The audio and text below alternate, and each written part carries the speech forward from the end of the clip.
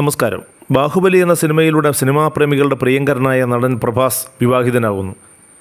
രാമായണ കഥയെ ആസ്പദമാക്കി ആദിപുരുഷ് എന്ന ബിഗ് ബജറ്റ് ചിത്രത്തിൽ ശ്രീരാമനെ അവതരിപ്പിക്കുന്നത് പ്രഭാസാണ്. താരത്തിന്റെ പ്രണയ വാർത്തകളും വിവാഹ വാർത്തകളും മുൻപും സാമൂഹിക മാധ്യമങ്ങളിൽ നിറഞ്ഞിട്ടുണ്ട്. അപ്പോഴൊക്കെയും പ്രഭാസ് തന്നെ അത് നിഷേധിക്കുകയും ചെയ്തിരുന്നു. എന്നാൽ ഇപ്പോൾ താരം തന്നെയാണ് വിവാഹ വാർത്തകൾ പുറത്തുവിട്ടിരിക്കുന്നത്.